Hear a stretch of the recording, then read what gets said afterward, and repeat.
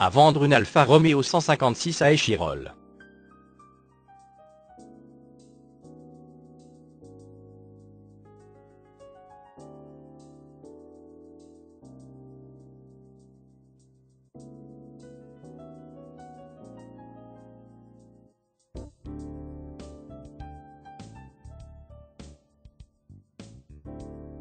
Pour plus d'informations, cliquez sur le lien dans la description.